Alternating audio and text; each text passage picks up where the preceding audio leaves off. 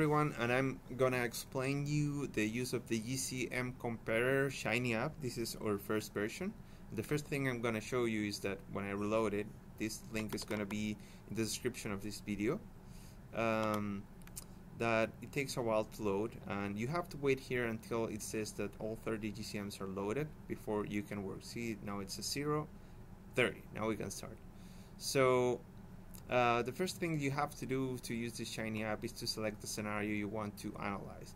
The main objective of this of this um, of this application is to understand better which GCMs you want to use uh, to to do a study when uh, for climate change in a certain area. So the first thing you can choose to do is to say, okay, so which one of those 30 global circulation models I'm going to use and the usually all of them are going to be selected but you can select some if you if you if you want to. Um, you can also select the climate change scenario uh, which uh, you can select the year where, where you're going to project to. So from 2050 or 2070 and the different RCPs the climatic data resolution is going to stay in 10 arc minutes so far because we are working only with this uh, we're gonna add the 5 arc minute later but uh, for now we only have the 10 arc minute resolution. Uh, we you can also choose of the uh, on the type of comparison. You have two options. You can uh, select among bioclimatic variables. Um, you can see there's 19 of them that you can choose from. These are the usual 19 bioclimatic variables that are explained here. And you can choose one bioclimatic variable against another in the x and y axis or you can choose a multiple comparison. And here we would recommend to have temperature in one of the axes and precipitation in the other one. So if you want to choose another one you might want to choose something else that is temperature here. So let's say minimum temperature in the coldest month. Um, but I'm gonna stick here. And then you can also choose among different ways of choosing your study area. So for example you could choose by biome so when you do that, what's going to happen here is that the map is going to change uh, after a few seconds and it's going to show all the biomes. And you can select from list here to see which biome you want to study from. But I'm going to go back to the drawing a rectangle, which is probably the easiest way of doing it. So using leaflet, you can zoom in to wherever you want to do your study. So let's say we want to do a study um, in the southern part of Italy. So we just press here in the box and then we just drag it.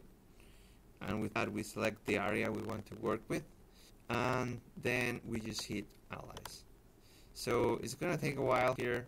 Um, and you just have to wait for all the for all the processes to be done there's there's a lot going on uh, under the hood. There's there's of the area, but there's a lot of calculation going on.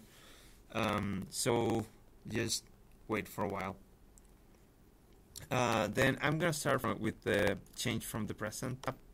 Then I'm going I'm gonna go back to others. So um, the first things the first thing you can see is you can see how the different models um, change uh, from the present. So in this graph, which is a plotly graph, you can see first the baseline, which is in green. And this one is going to tell us uh, in the y-axis the annual precipitation, which for that area the average is going to be 702. You can see it here when you click on the when you hover over this point. And there's also show us that the average temperature there is like it's some somewhere around 14.5, uh, which is around here. So then you can see all of the models and they're going to show you how it's going to change. So of course we can see that everything is going to get warmer, but it also seems to be that all the models, actually all of them, show that there's going to be a, a slight drop in precipitation. So uh, the orange point here is the ensemble, so that's the average of all the models we are studying, and there we can see what we would expect for the year 2070 and you can go to all the models. Uh, so since this is uh, a leaflet, so sorry, since this, this is uh, Plotly, one thing that you can do is that you can um, you can zoom in. Um, so we're in zoom. Um, you can zoom in and you can look closely to any of the models here. Um, you can of course zoom out. You can auto scale you can do all sorts of stuff and one of the things that you can do is download this image that you zoom into as a PNG um, also you can uh, download here the figure using this um, button here. And that's gonna uh, make another kind of image. I'm gonna show it to you um, which is slightly different. You, you also have a table here which shows you so for the bio 1 variable which is the mean average temperature and the um, and precipitation. You can see for every model was the projection but you can also see the delta. Uh, so for example in this case it says that is for this model we're going to have a drop of 120 millimeters in rain and we're going to have an increase of 1.8 degrees Celsius. You can also download that table uh, using this and it's gonna uh, you can you can you will be able to get a CSV with all those variables to work with uh, you can also change this to delta so instead of, of looking at the graph with the um, actual numbers, you can see the difference.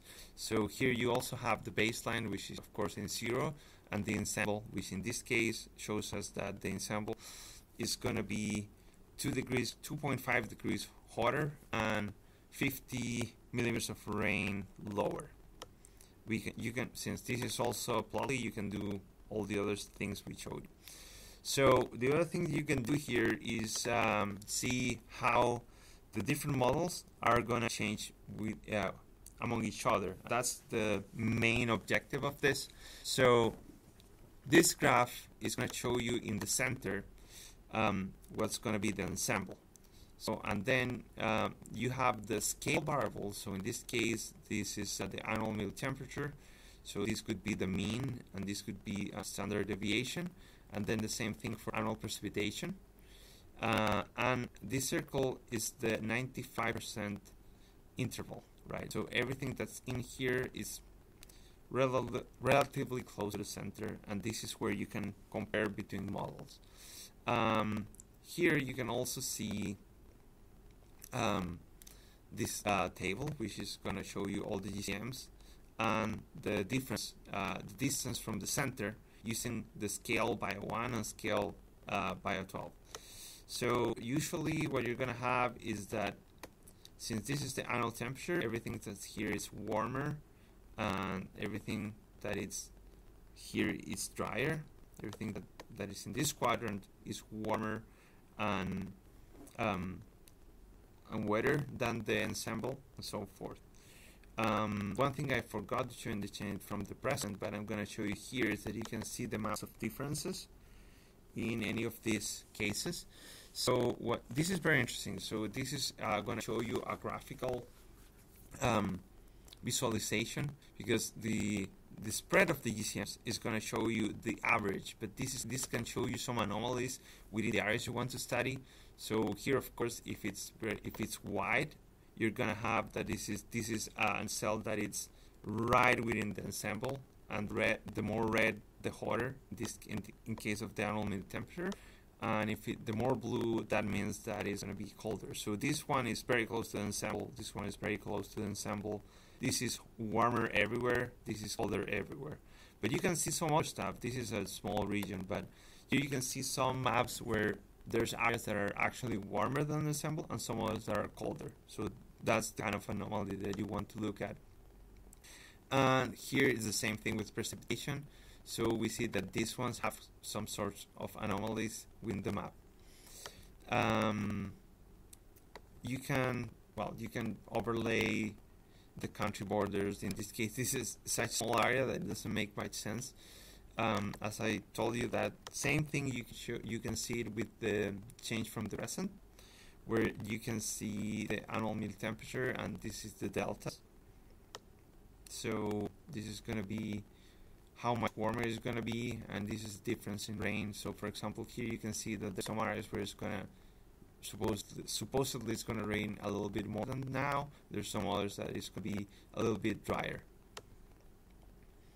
Um, the other thing that you can do is go to the selected GCMs, which lets you explore um, uh, the the GCMs that you have, and this is gonna just give you the raw values. So this is your here you have the baseline and the ensemble for the um, only the temperature, and then each one of the models, and the same goes for the annual precipitation.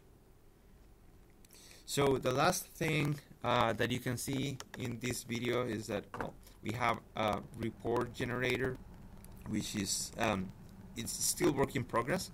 So the idea with this is that this shiny app is going to be uh, reproducible. So uh, in order for people to be able to uh, under to see what the research was and what was the the what was what was the settings that you made for the for the app you can press the generate report and that is going to build a PDF. That's going to take a while because it's going to show all the settings you had, but it's also building each one of the, the graphs we saw and the table. So I'm just going to open it and this is going to tell you the date where when you generated the report and it's going to tell you some of the things. So, for example, here it's saying that it's a projection for 2070 using the RCP fortified scenario. And then it says that geographic area was chosen using the rectangle drawing tool of the app, and the coordinates selected were. Um, and here's telling you the latitude and longitude. So, this is very important because you can use the drawing box then to re replicate this, and then it's going to show you each one of the graphs. So, this case, for example, the this is the, the main graph, the one that compares all the future models. Um, then you have the unscaled um, baseline against all the models and the ensemble. And all of the other graphs and maps. So that's the app for now. Uh, we're still working on it, especially on the text. Um, I hope this helps you use it. Um, let us know anything that you think that we can improve with this. Uh, play with it as much as you want. Uh, there's probably still gonna be some bugs, so let us know if anything anything breaks down while you're using it. Thank you.